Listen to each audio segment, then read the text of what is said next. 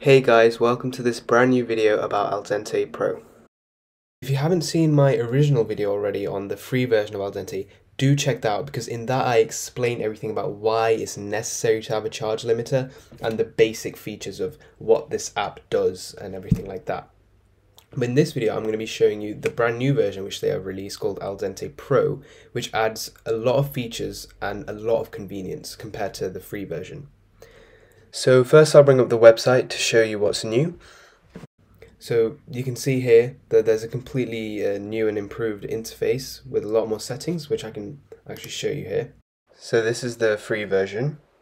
You can see these are all the things that you have. So launcher, login, allow discharge, which I explain all of this in the uh, other video, and then you can change the charge limit here. However, with the new version, as you can see, there's a whole new settings tab. So firstly, we have sailing mode. So what this will do is, is as you can also uh, read here, is instead of letting the battery go down by 1% and then recharging it and then it constantly doing that, which can be uh, bad for the battery, what it will do is, is it will allow it to uh, discharge by a certain amount, like I have 5% set here, and then it will go back to that amount. And so yeah, next we have heat protection. So what this will do is, is it will set a max temp and then at that temp it won't charge the battery anymore because the higher the temperature you are and if you charge then, then it's worse for the battery. So this way if it exceeds a certain temperature, it will stop charging. Pretty simple. And next we have calibration mode. So uh, let me actually bring up the website for this part.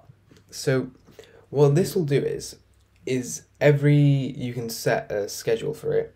It will and it'll do it itself. It will reduce the battery to a certain percentage and then increase it again. And what this does is, is it calibrates the battery because if you keep your battery at a certain percentage all the time it can not be actually harmful for the battery but it mess like what the computer does is is it guesses how much battery is left so the calibration can go off if you leave it at a certain percentage which means for example if you had it set to 50%, then it might mess up and the computer might turn off because it thinks there's no battery left when there is. So you can obviously do this on the free version. However, you have to remember to do it.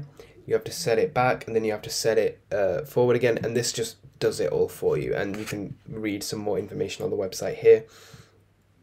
And then other things we have is top up. So once again, this is another convenience feature. So of course, on the free version of Aldente, you can set it to 100% and then remember to take it back. But in this is just easy. You just press top up, it will make it 100% one time and then it will fall back. And then obviously we have some more user interface improvements like live status icon so you can see exactly what's happening with your battery. And you just have some more information about uh, what devices are available. So now, let's go on to pricing. So the one for a one year subscription, it costs nine pounds ninety eight. So for that, you'll get all the same features as the lifetime license, except it's a one year, and you can cancel at any time. But with the twenty one pound version, obviously, if you're going to be keeping this for many years, it's better value because it's just a one time payment. Another thing to think is, is if you really care about your battery, like a battery replacement could cost up to like $200 whereas this is a one-time uh, 21 pound payment. And you can also use this uh, one key for up to three devices. So if you get a new device all you have to do is put in your activation key and you'll get it. So it's not like this is has to be linked to your mac. You can have it up to three and if you get a new Mac, you can enable it on that. But anyway guys, that's it for me on this one. If you want more information about why all this stuff is even useful in the first place, check out my previous video. And thanks for watching, make sure to like and subscribe if you enjoyed the video, and I'll see you in the next one. Bye.